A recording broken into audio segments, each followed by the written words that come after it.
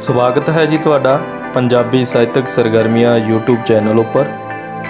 ਜੇਕਰ ਤੁਸੀਂ ਚੈਨਲ ਨੂੰ ਸਬਸਕ੍ਰਾਈਬ ਨਹੀਂ ਕੀਤਾ ਤਾਂ ਸਬਸਕ੍ਰਾਈਬ ਕਰ ਲਵੋ ਅਤੇ ਬੈਲ ਆਈਕਨ ਨੂੰ ਦਬਾਓ ਤਾਂ ਜੋ ਕੋਈ ਵੀ ਅਪਲੋਡ ਕੀਤੀ ਗਈ ਵੀਡੀਓ ਡਾਇਰੈਕਟ ਤੁਹਾਡੇ ਤੱਕ ਪਹੁੰਚ ਸਕੇ। ਅਤੇ ਪਲੇਲਿਸਟ ਦੇ ਵਿੱਚ ਜਾ ਕੇ ਤੁਸੀਂ ਪਹਿਲਾਂ ਤੋਂ ਅਪਲੋਡ ਕੀਤੀਆਂ ਪੰਜਾਬੀ ਸਾਹਿਤ ਦੀਆਂ ਵੱਖ-ਵੱਖ ਵਿਧਾਵਾਂ ਦੇ ਨਾਲ ਅਤੇ UGC ਅ, ਮਾਸਟਰ ਕੇਡਰ ਪੰਜਾਬੀ ਲਈ ਵੀਡੀਓ ਦੇਖ ਸਕਦੇ ਹੋ। ਤਾਂ ਹੁਣ ਆਪਾਂ ਜਿਹੜਾ ਹੈ ਪੇਪਰ ਦੀ ਤਿਆਰੀ ਦੇ ਲਈ ਇੱਕ ਲੜੀ ਸ਼ੁਰੂ ਕੀਤੀ ਹੈ। ਅੱਜ ਉਸ ਦਾ ਚੌਥਾ ਭਾਗ ਜਿਹੜਾ ਹੈ, ਤੁਹਾਡੇ ਨਾਲ ਸਾਂਝਾ ਕਰਨ ਜਾ ਰਿਹਾ ਹਾਂ।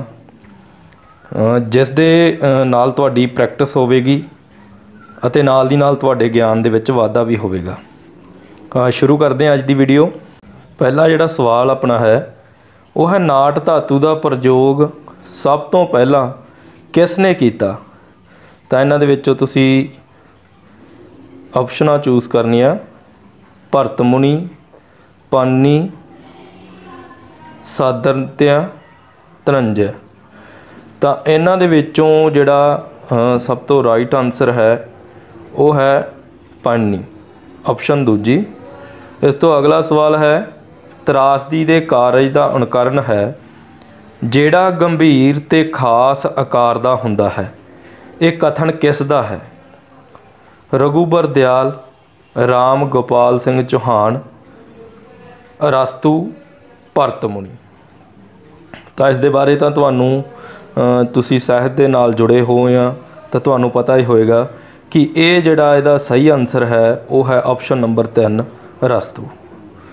ਉਸ ਤੋਂ ਅਗਲਾ ਜਿਹੜਾ ਸਵਾਲ ਹੈ ਆਪਣਾ, ਉਚਾਰਨ ਸਥਾਨ ਦੀ ਦ੍ਰਿਸ਼ਟੀ ਤੋਂ ਪੰਜਾਬੀ ਵਿਅੰਜਨ ਧੁਨੀਆਂ ਨੂੰ ਕਿੰਨੇ ਵਰਗਾਂ ਵਿੱਚ ਵੰਡਿਆ ਜਾਂਦਾ ਹੈ? ਧੁਨੀਆਂ ਨੂੰ ਕਿੰਨੇ ਵਰਗਾਂ ਵਿੱਚ ਵੰਡਿਆ ਜਾਂਦਾ ਹੈ? ਤਾਂ ਇਸ ਦੀਆਂ ਜਿਹੜੀਆਂ ਆਪਸ਼ਨਾਂ ਨੇ 4 6 8 10 ਤਾਂ ਕਿਹੜੇ ਕਿਹੜੇ ਜਿਹੜਾ ਹੈ ਉਚਾਰਨ ਸਥਾਨ ਦੇ ਆਧਾਰ ਤੇ ਵੰਡਿਆ ਜਾਂਦਾ ਉਹਨਾਂ ਦੇ ਵਿੱਚ ਕੰਠੀ, ਤਾਲਵੀ ਕੰਠੀ, ਤਾਲਵੀ ਉਲਟ ਜੀਬੀ ਜਾਂ ਮੂਰਧਨੀ, ਦੰਤੀ, ਹੋਠੀ ਤੇ ਸੁਰਯੰਤਰੀ। ਇਸ ਤਰ੍ਹਾਂ ਜਿਹੜਾ ਹੈ ਉਚਾਰਨ ਸਥਾਨ ਦੇ ਆਧਾਰ ਤੇ ਵਿਅੰਜਨ ਧੁਨੀਆਂ ਨੂੰ 6 ਭਾਗਾਂ ਦੇ ਵਿੱਚ ਵੰਡਿਆ ਜਾਂਦਾ ਹੈ। ਜੇਕਰ ਤੁਸੀਂ ਵਿਅੰਜਨਾਂ ਨੂੰ ਹੋਰ ਵਧੀਆ ਤਰੀਕੇ ਨਾਲ ਸਮਝਣਾ ਚਾਹੁੰਦੇ ਹੋ, ਤਾਂ ਇੱਕ ਵਿਅੰਜਨ ਧੁਨੀਆਂ ਦੇ ਉੱਪਰ ਮੈਂ ਵੀਡੀਓ ਅਪਲੋਡ ਕਰ ਚੁੱਕਾ ਹਾਂ। ਉਹ ਤੁਸੀਂ ਪਲੇਲਿਸਟ ਦੇ ਵਿੱਚ ਜਾ ਕੇ ਦੇਖ ਸਕਦੇ ਹੋ। ਉਸ ਤੋਂ ਅਗਲਾ ਸਵਾਲ ਹੈ, ਨੈਕਟ ਅੰਗ ਵਿਸ਼ਲੇਸ਼ਣ ਦੀ ਪਹਿਲੀ ਵਾਰ ਯੁਗਤ ਕਿਸ ਨੇ ਪੇਸ਼ ਕੀਤੀ? ਸਵਾਲ ਨੂੰ ਦੋ ਵਾਰ ਪੜ੍ਹ ਲਿਆ ਕਰੋ। ਨਕ- ਨੈਕਟ ਅੰਗ ਵਿਸ਼ਲੇਸ਼ਣ ਦੀ ਪਹਿਲੀ ਵਾਰ ਯੁਗਤ ਕਿਸ ਨੇ ਪੇਸ਼ ਕੀਤੀ? ਤਾਂ ਚਮਸਕੀ, ਸੋਸਿਊਰ, ਗ੍ਰੀਸਨ, ਬਲੂਮਫੀਲਡ।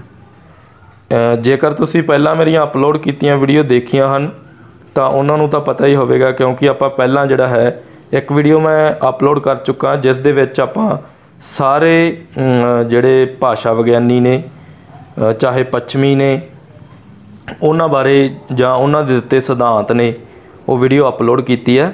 ਤਾਂ ਇਹਦਾ ਜਿਹੜਾ ਸਹੀ ਆਨਸਰ ਹੈ, ਉਹ ਹੈ ਬਲੂਮ ਫੀਲਡ ਬਲੂਮ ਫੀਲਡ ਨੇ ਨੈਕਟ ਅੰਗ ਵਿਸ਼ਲੇਸ਼ਣ ਦਾ ਜਿਹੜਾ ਹੈ ਪਹਿਲੀ ਵਾਰ ਇਸ ਦੀ ਜੁਗਤ ਦੀ ਵਰਤੋਂ ਕੀਤੀ ਹੈ। ਤਾਂ ਉਸ ਤੋਂ ਅਗਲਾ ਜਿਹੜਾ ਸਵਾਲ ਹੈ ਕਿਸ ਕਹਾਣੀਕਾਰ ਦੀ ਗਲਪ ਦ੍ਰਿਸ਼ਟੀ ਆਦਰਸ਼ਵਾਦ ਤੇ ਯਥਾਰਥਵਾਦ ਦਾ ਸੁਮੇਲ ਹੈ? ਆਪਸ਼ਨਾਂ ਹਨ ਸੰਤ ਸਿੰਘ ਸੇਖੋ, ਸੁਜਾਨ ਸਿੰਘ, ਪ੍ਰੋਫੈਸਰ ਮੋਹਨ ਸਿੰਘ, ਕਰਤਾਰ ਸਿੰਘ ਦੁੱਗਲ। ਤਾਂ ਇਸ ਦਾ ਜਿਹੜਾ ਸਭ ਤੋਂ ਰਾਈਟ ਆਨਸਰ ਹੈ, ਉਹ ਹੈ ਪ੍ਰੋਫੈਸਰ ਮੋਹਨ ਸਿੰਘ। ਆਪਸ਼ਨ ਤੇ ਨੰਬਰ 3 ਇਸ ਤੋਂ ਅਗਲਾ ਸਵਾਲ ਆਪਣਾ ਹੈ ਘੋਰ ਕੰਡੇ ਕਹਾਣੀ ਦਾ ਕਰਤਾ। ਘੋਰ ਕੰਡੇ ਕਹਾਣੀ ਦਾ ਕਰਤਾ। ਸਿਮਰਨ ਢਾਲੀਵਾਲ ਪ੍ਰੇਮ ਪ੍ਰਕਾਸ਼, ਜਸਵੀਰ ਰਾਣਾ, ਗਰਮੀਤ ਕੜਿਆਲਵੀ ਤਾਂ ਇਹਨਾਂ ਦੇ ਵਿੱਚੋਂ ਜਿਹੜਾ ਰਾਈਟ ਆਨਸਰ ਹੈ, ਉਹ ਹੈ ਆਪਸ਼ਨ ਨੰਬਰ 1 ਸਿਮਰਨ ਧਾਲੀਵਾਲ। ਤਾਂ ਉਸ ਤੋਂ ਅੱਗੇ ਜਿਹੜਾ ਸਵਾਲ ਹੈ, ਨਾਟਕ ਦੇ ਦੋ ਅਤਿਅੰਤ ਮਹੱਤਵਪੂਰਨ ਮਾਧਿਅਮ ਕਿਹੜੇ-ਕਿਹੜੇ ਹਨ? ਨਾਟਕ ਦੇ ਦੋ ਅਤਿਅੰਤ ਮਹੱਤਵਪੂਰਨ ਮਾਧਿਅਮ ਕਿਹੜੇ ਹਨ?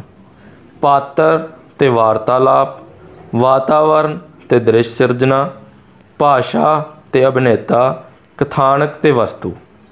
ਤਾਂ ਇਹਨਾਂ ਦੇ ਵਿੱਚੋਂ ਲੱਗਦਾ ਤਾਂ ਇਦਾਂ ਕਿ ਸਾਰੇ ਹੀ ਜਿਹੜੇ ਮਹੱਤਵਪੂਰਨ ਨੇ ਅ, ਪਰੰਤੂ ਮਹੱਤਵਪੂਰਨ ਮਾਧਿਅਮ ਪੁੱਛਿਆ ਇਹਨਾਂ ਨੇ ਮਾਧਿਅਮ ਕਿਹੜੇ ਨੇ?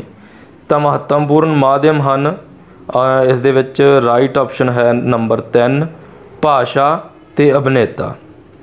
ਉਸ ਤੋਂ ਅਗਲਾ ਸਵਾਲ ਹੈ ਆਪਣਾ, ਵਿਸ਼ਵੀਕਰਨ ਅਤੇ ਸਾਹਿਤ ਚਿੰਤਨ ਜਿਹੜੀ ਪੁਸਤਕ ਹੈ, ਇਸ ਦਾ ਕਰਤਾ ਕੌਣ ਹੈ? Doctor Surjit Singh, doctor Rajinderpal Singh, Satish Kumar Verma, doctor Surjit Singh Bhatti ਤਾਂ ਇਸ ਦਾ ਰਾਈਟ ਆਨਸਰ ਜਿਹੜਾ ਹੈ ਉਹ ਹੈ option number 4 doctor Surjit Singh Bhatti. ਇਸ ਪੁਸਤਕ ਦਾ ਕਰਤਾ। ਤਾਂ ਉਸ ਤੋਂ ਅਗਲਾ ਸਵਾਲ ਜਿਹੜਾ ਹੈ ਆਪਣਾ, ਸਮਾਜਿਕ ਲੋਕਾਂ ਨੂੰ ਸਥਾਈ ਭਾਵ ਦਾ ਅਨੁਭਵ ਕਰਾਉਂਦੇ ਹੋਏ, ਸਮਾਜਿਕ ਲੋਕਾਂ ਨੂੰ ਸਥਾਈ ਭਾਵ ਦਾ ਅਨੁਭਵ ਕਰਾਉਂਦੇ ਹੋਏ ਜਿਹੜਾ ਰਸ ਦੀ ਪੁਸ਼ਟੀ ਕਰਦੇ, ਇਹੋ ਜਿਹੇ ਭੈ ਕਟਾਕਸ਼ ਕਰਨ ਵਾਲੇ ਕਾਰਜਾਂ ਨੂੰ ਕੀ ਆਖਦੇ ਹਨ? ਤਾਂ ਇਸ ਦੇ ਵਿੱਚ ਆਪਸ਼ਨਾਂ ਹਨ ਅਲੰਬਨ, ਵਪਾਵ, ਅਨੁਭਾਵ ਤੇ ਅਦੀਪਨ ਤਾਂ ਇਸ ਦਾ ਜਿਹੜਾ ਰਾਈਟ ਆਨਸਰ ਹੈ, ਉਹ ਹੈ ਅਨੁਭਵ। ਉਸ ਤੋਂ ਅਗਲਾ ਜਿਹੜਾ ਸਵਾਲ ਆਪਣਾ ਹੈ ਪਪੀਤਤ ਸਾਸ ਦਾ ਸਥਾਈ ਭਾਵ ਦੱਸੋ। ਜਗਪੁਸਾ, ਰਤੀ ਵਿਸਮੈ ਉਤਸ਼ਾਹ ਤਾਂ ਪਪੀਤਤ ਰਸ ਜਿਹੜਾ ਹੈ, ਉਸ ਦੇ ਵਿੱਚ ਅਣਚਾਹੇ ਜਾਂ ਘਨਾਉਣੇ ਪਦਾਰਥਾਂ ਦੇ ਵਰਣਨ ਨੂੰ ਪੜ੍ਹ ਕੇ ਜਾਂ ਦ੍ਰਿਸ਼ ਨੂੰ ਦੇਖ ਕੇ ਪੁਸ਼ਟ ਹੋਇਆ ਘ੍ਰਿਣਾ। ਜਾਂ ਆਪਾਂ ਇਸ ਨੂੰ ਨਫ਼ਰਤ ਕਹਿ ਸਕਦੇ ਹਾਂ। ਨਫ਼ਰਤ ਦਾ ਭਾਵ ਹੈ ਬਪੀਤਸ ਰਸ ਤਾਂ ਇਸ ਦੇ ਵਿੱਚ ਜਿਹੜਾ ਹੈ, ਇਸ ਦਾ ਸਥਾਈ ਪਣ ਸਥਾਈ ਭਾਵ ਹੈ ਜਿਹੜਾ ਉਹ ਹੈ ਜਗਪੁਸਾ। ਇਸ ਦਾ ਰਾਈਟ ਆਨਸਰ ਹੈ ਜਗਪੁਸਾ। ਸੋ ਉਮੀਦ ਹੈ ਕਿ ਇਹ ਵੀਡੀਓ ਤੁਹਾਨੂੰ ਪਸੰਦ ਆਈ ਹੋਵੇਗੀ ਅਤੇ ਇਸ ਨੂੰ ਤਾਂ ਲਾਈਕ ਕਰੋ ਅਤੇ ਸ਼ੇਅਰ ਕਰੋ। ਤਾਂ ਹੋਰ ਸਵਾਲਾਂ ਦੇ ਨਾਲ ਅਗਲੀ ਵੀਡੀਓ ਦੇ ਵਿੱਚ ਤੁਹਾਡੇ ਨਾਲ ਹਾਜ਼ਰ ਹੋਵਾਂਗੇ। ਬਹੁਤ ਬਹੁਤ ਸ਼ੁਕਰੀਆ। ਧੰਨਵਾਦ